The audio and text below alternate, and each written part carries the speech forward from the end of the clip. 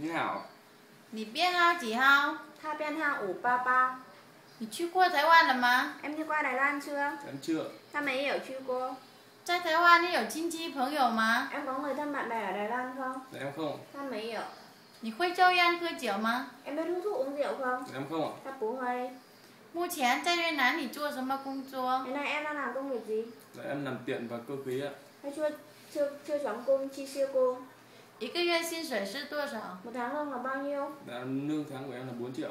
Tha xin sẻ ta ba láng phải khoai mẩy chín 来台湾工作很辛苦，你受得了吗？ Đến Đài Loan làm việc rất là vất vả em có chịu được không? Dạ em chịu được ạ. Ta sâu tứ lẹo 如果雇主要求你配合加班，你愿意吗？ Nếu ông chủ yêu cầu em tăng ca có đồng ý không? Dạ em đồng ý ạ. Ta愿意 嗯嗯，对今天面试的工作，你还有什么问题要问吗？Ngày hôm nay phỏng vấn em còn vấn đề gì cần hỏi không?